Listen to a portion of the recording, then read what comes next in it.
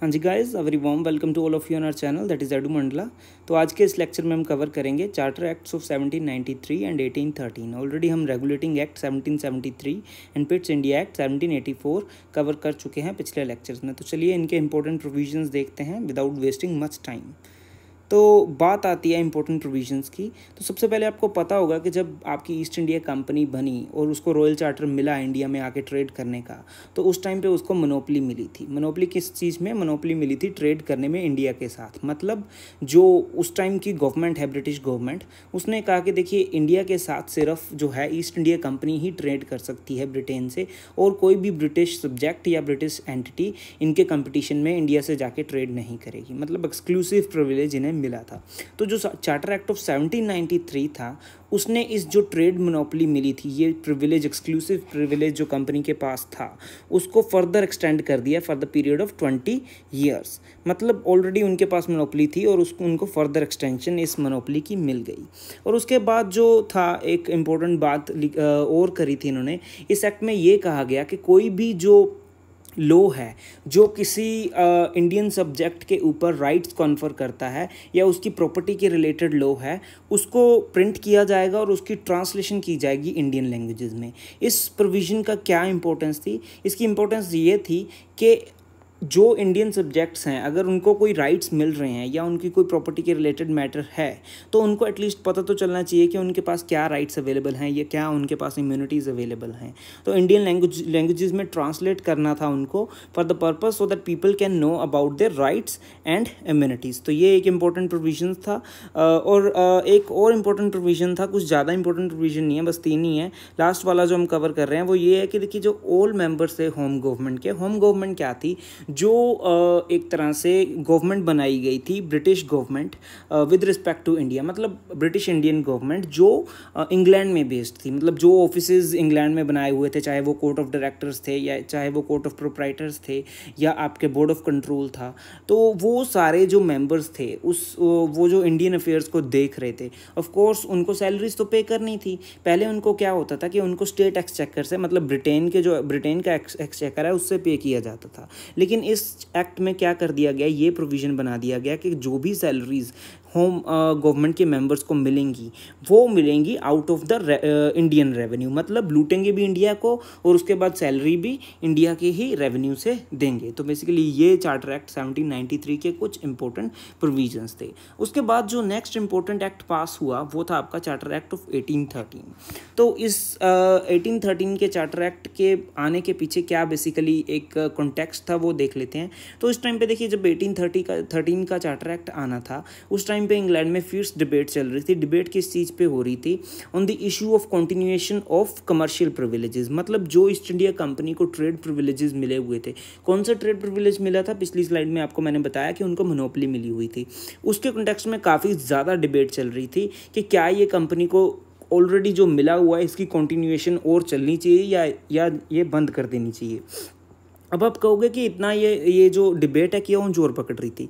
देखिए उस टाइम पे क्या था कि यूरोप में और ब्रिटेन में मेनली लेसिस फेयर की थ्योरीज जो थी वो ज़ोर पकड़ रही थी। मतलब गवर्नमेंट की इंटरवेंशन नहीं होनी चाहिए। जो फ्री एंटरप्राइज है उसको इनक्रेज करना चाहिए। जो एंटरप्रेन्योर्स हैं उनको उनको आ, उनको डिसीजंस ले, लेने देने चाहिए। और जो मार्केट फोर्सेज हैं वो सारा कुछ डिसाइड करें कि क्या कैसे डिस्ट्रीब्यूशन ऑफ़ गुड्स होनी है या डिस्ट्रीब्यूशन ऑफ़ जो एक तरह से resource produced in the economy है उनकी वो वो वो डिस्ट्रीब्यूशन कैसे होनी है? तो इस कंटेक्स्ट में लेसिस फेयर की थ्योरी ज़ोर पकड़ रही थी और गवर्नमेंट इंटरवेंशन को एक तरह से बुरी नज़र से देखा जा रहा था और ये कहा जा रहा था कि जो ईस्ट इंडिया कंपनी को मोनोपली मिली हुई है, ये एक तरह से अनफेयर प्रैक्टिस है। ये कंपटीशन प्रमोट नहीं करती और ये जो प्रिविलेज है ये ख़त्म कर देना चाहिए। और साथ के साथ एक तरह से ऑफकोर्स अगर आप मान लीजिए कोई कंपनी है, उसके एम्प्लॉयज़ हैं, अगर वो किसी किसी एंटिटी के साथ ट्रेड कर रहे हैं और वहाँ से बहुत ज़्यादा प्रॉफिट कमा रहे हैं, वहाँ से बहुत ज़्यादा फ़ायदा कमा रहे हैं। तो ऑफ़ कोर्स जो जो फेलो इंग्लिश मैन है, वो जलेंगे तो है ही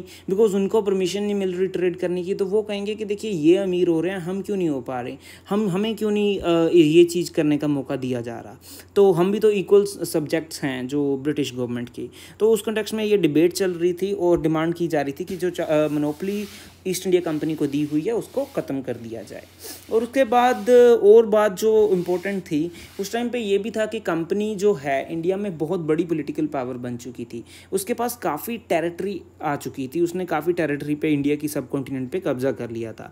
अब डिफ़िकल्ट हो गया था कंपनी के लिए to to continue both as a commercial entity as well as a political entity तो कुछ डिवीज़न होनी ज़रूरी थी इस टाइम पर कि कोई रिस्पॉन्सिबिलिटी ईस्ट इंडिया कंपनी से ले ली जाए। अल्टीमेटली देखिए, एक East India company was a company तो ये एक ट्रेडिंग कंपनी थी तो एक तरह से वो गवर्नमेंट चला रही थी इंडिया में। तो ये काफ़ी काफ़ी ज़्यादा एक तरह से डायलेमा वाली सिचुएशन थी कि एक तरह कंपनी जो है, जो जो ट्रेड में इंगेज है, वो एक गवर्नमेंट चला रही है तो ऑफ़ कोर्स उस कॉन्टेक्स्ट में डिबेट तो होगी होगी कि ब्रिटिश गवर्नमेंट उस उस कॉन्टेक्स्ट में इंटरफेयर तो करेगी करेगी। तो चलिए इंपॉर्टेंट प्रोविजंस देख लेते हैं इसके। मेन प्रोविजंस क्या थे? मेन प्रोविज़न ये थे कि इसमें जो कंपनी का चार्टर है, वो और बीस साल के लिए रिन्यू कर दिया गया। मतलब उनको लो कर दिया गया कि देखिए, आप इंडिया की गवर्नमेंट को चलाइए, आप इंडिया के अफेयर्स को मैनेज करिए और साथ ही साथ इंडिया के साथ ट्रेड भी करिए लेकिन आपकी जो मनोपली है, ये जो है ट्रेड में, ये ख़त्म हम कर देंगे। तो ट्रेड मनोपली 1813 के चार्टर एक्ट में ख़त्म कर दी गई। लेकिन यहाँ पे एक चीज़ ध्यान रखने वाली बात है कि ये मनोपली कम्प्लीटली ख़त्म नहीं करी गई थी। एक चीज़ में इनकी मनोपली छोड़ेगी, वो था टी का ट्रेड मतलब चाय के ट्रेड में। तो चाय के ट्रेड में ऑलरेडी ये मनोपली फिर से इंजॉय करने लगे। मतलब इनके पास पहले पूरा जो भी गुड्स थे, उन उन सभी में मनोपली थी, लेकिन अब सिर्फ़ चाय के ट्रेड में बची। और साथ ही साथ इनकी मनोपली किस, किसके साथ ट्रेड में बची? चाइना के साथ। मतलब अब ये इंडिया के साथ तो इनका जो ट्रेड था, वो एक्सक्लूसिव नहीं रहा। और भी जो ब्रिटिश मर्चेंट्स हैं या ब्रिटिश एंटिटीज़ हैं, वो आके इंडिया के साथ ट्रेड कर सकती थी। लेकिन चाइना के साथ इनकी ही मनोपली रही। ठीक है जी? और साथ के साथ चाय में भी इनकी, इंडिया के ट्रेड में। तो एक्स एक्ट ने और बात क्या कही? बात ये कही कि देखिए, अब कंपनी है कंपनी अगर गवर्नमेंट चला रही है, इतनी बड़ी टेरिटरी है तो उसको कंट्रोल करना ज़रूरी है। कंपनी ने जो एक्ट है, उसने सीधा सीधा ये कह दिया कि देखिए, जो टेरिटरीज़ हैं, जो कंपनी ने इंडिया में एक्वायर करी हुई हैं, वो एक तरह से उन पे सोवरन राइट जो है वो सिर्फ़ क्राउन का ही रहेगा। मतलब एक तरह से आप ये लगा लीजिए कि एक्ट ने ये कहा कि जो कंपनी है वो सिर्फ़ एज अ ट्रस्टी का, आ, काम कर रही है ब्रिटिश गवर्नमेंट की इंडिया में। और जो जो अल्टीमेटली जो टेरिटरीज इंडिया में एक्वायर करी गई हैं वो उन पे किसका हक है? उन पे एक्सक्लूसिव एंड सोवरन हक किसका है? ब्रिटिश क्राउन का है। तो ये क्लियर कर दिया गया कंपनी को कि आपको आप ये सोचें कि आपको एक एक पूरे सब कॉन्टिनेंट की गवर्नमेंट आपको सौंप दी जाएगी। दिस इज़ नॉट पॉसिबल ठीक है जी? और उसके बाद इस एक्ट में और इम्पोर्टेंट चीज़ क्या हुई कि मिशनरीज़ काफ़ी देर से कह रहे थे क्रिश्चियन मिशनरीज़ कि हमें इंडिया में जाके प्रीच करने दो, हमें क्रिश्चियनिटी प्रमोट करने दो, फैलाने दो। तो इस 1813 के एक्ट में जो मिशनरीज़ हैं, उनको अलो कर दिया गया कि वो इंडिया में जाएँ और वहाँ पे सेटल हो सेटल हो पाएँ अंडर आ लाइसेंस तो उनको लाइसेंस लेना पड़ता था और वो वहाँ पे जाके फिर अपना मैसेज जो क्रिश्चियनिटी का है, अपनी क्रिश्चियन मिशनरी एक्टिविटीज़ को वो प्रमोट कर सकते थे। और नेक्स्ट जो लास्ट इंपॉर्टेंट प्रोविज़न था, वो ये था कि इसमें देखिए, एक पहली बार ब्रिटिश गवर्नमेंट ने एक ऐसा कोई फंड चलाया, जिसमें एक तरह से, एक तरह की डिक्लेरेशन थी ये प्रिंसिपल ऑफ़ स्टेट रिस्पॉन्सिबिलिटी मतलब पहली बार उन्होंने कोई इंडियन सब्जेक्ट्स के वेलफेयर की कोई रिस्पॉन्सिबिलिटी ली। हालाँकि एक लाख अमाउंट कुछ ज़्यादा नहीं होती। इसमें इन्होंने ये कहा कि हम एक लाख एनुअली क्या करेंगे? यूज़ किया जाएगा किसकी प्रमोशन में? In the promotion of the education in literature and sciences तो हाँ एक स्टेप ज़रूर था, उस डायरेक्शन में एजुकेशन की पॉजिटिव एजुकेशन की डायरेक्शन में पॉजिटिव स्टेप था। लेकिन आप लगा लीजिए कि चाहे आप कहिए कि एक लाख, देखिए अब ये बात भी तो नाइनटीन सेंचुरी की हो रही है, लेकिन फिर भी आप आप अपना दिमाग यूज़ करिए कि एक लाख से क्या ही हो जाएगा इतनी बड़े सब कॉन्टिनेंट में। आ, चाहे उस टाइम की बात हो रही है।